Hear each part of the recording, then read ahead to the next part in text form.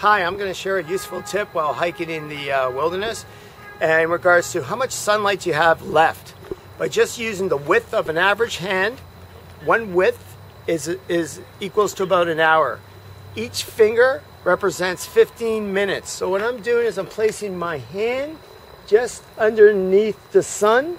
The other hand, see how much from the top of the horizon to see how many fingers I have. So there's six fingers there. Each finger represents 15 minutes.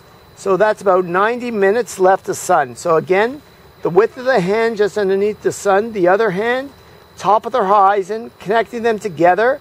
So I have one width, two fingers. So that's an hour and a half of sunlight left. It's close to 3.30.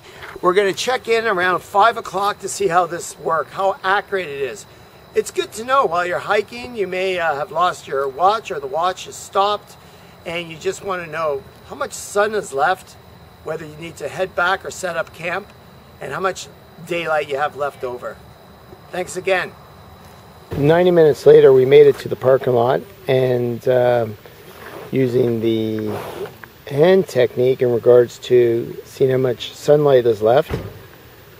So it's a little after 5 and you can see it works pretty well. You can see the sunset just going down. I'm just resting in my hammock here and just enjoying this beautiful day.